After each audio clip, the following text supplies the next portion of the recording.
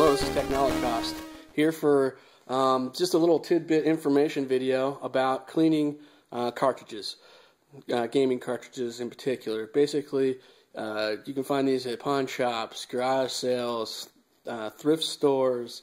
Um, it's kind of a hobby of mine, collecting.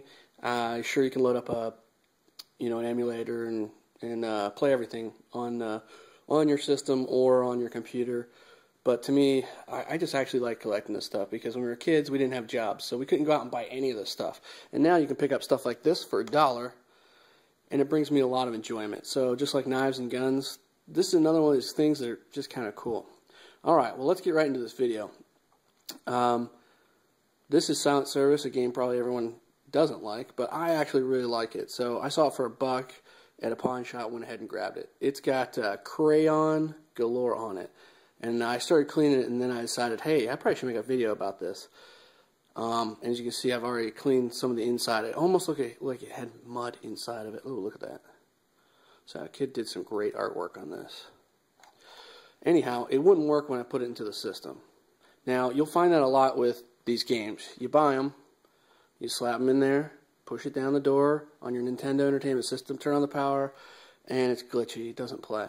Well, the way to fix that real quickly is to clean your cartridge, put it in, and usually it'll work. If it doesn't, you can also use the uh, tried and true method, which does work almost 99.9%, hundreds of the time, is close the door. Now again, you don't have to smash it, blow on it, or any of that stuff. You turn on your Nintendo, the game won't play. So now what I'm going to do is I'm going to kind of push it around in here.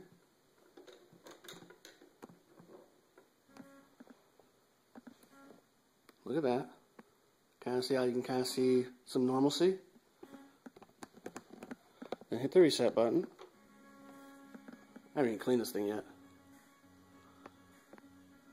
Oh yeah, buddy. Platoon. And that sounds like the same music that uh, I used to play or listened to when it was on the Commodore 64, which is another friggin' excellent system. One I particularly grew up on. I didn't really grow up on the Nintendos. It was later in life that I finally discovered these things, and my mom never got me one of these, but it's, it's all right. I had a Sega. Anyway, so with uh, Platoon in the background, let me explain this. So what you're going to use, even though the Nintendo cartridges tell you never to use it, is rubbing alcohol. You can get this for like a buck. So it's totally cheap. You take your cartridge. Whoop.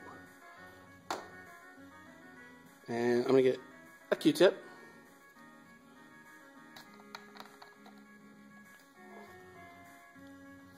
Drench the Q-tip in here. Wiggle around. Get some of the excess liquid off, kind of pushing it off, kind of like you're painting. So now this thing's pretty moist. This side's dry, right? Just closing the cap over here. Alright, so I'm going to take a game, credit game like this, and in here you're going to see what look like little teeth. And just hold the cartridge down, scrub it with the wet side, and you'll start to see a lot of the corrosion due to oxidiz oxidization. And you're also going to have a get the crud because as kids we don't store things so well. Now look at that. So the teeth are clean, and with the alcohol, it just dissipates very quickly. And I like to clean on the inside too. Uh, I mean, it's just it's like mud in there. It's horrible. I also suggest when you buy these things at a thrift store and whatnot, uh, anywhere, they're used. They're really used. They're some of them are 20 years old plus. Um, they've been handled with a lot of people, so they're dirty. Go ahead and wipe them down. Try not to get the sticker. Wipe them down with a little Clorox bleach on the sides, maybe, very lightly, or just wipe it down with some alcohol. Now, again, people are pretty grody. And that's the word I'm using because it's from the 80s. This Rad Racer. Did I overpay? Eh, two bucks? Come on. It's Rad Racer. It actually looks pretty good.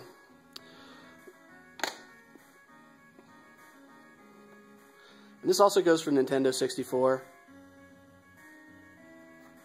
This Mario looks like it's in okay condition, but let's go ahead and do one more, just so you get it down. Alcohol. Again, you don't want to drench it, and you don't want your alcohol to go travel back into the cartridge. As you can see, there's protective plastic, but that's where the circuit board is. So what I like to do is use gravity, get in there, just, just tilt it down, and boom, get this garbage off. Now, Nintendo 64, there's no super trick. If your game doesn't work immediately, when you slap it in there, it's super dirty. So, give it a nice clean. Put it in your uh, 64, and it should work. Well, I've got a lot of games to clean. This is my haul today. Show you here. I got this one. Ikari Warriors. I got for five dollars. It's in uh, like perfect condition.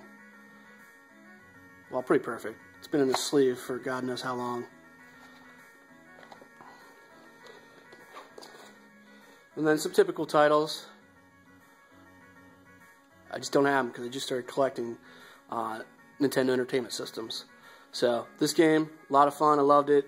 This game is a horrible game, but you got to have it in your collection. Uh, this game is actually fun. Um, and so is RC Pro Am.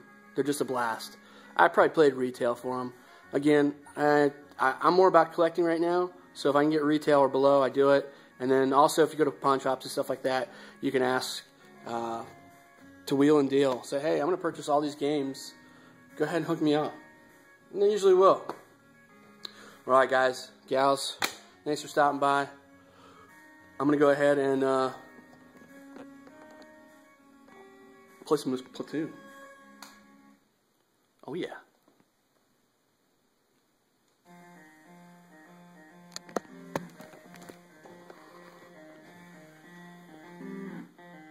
Is that Charlie Sheen?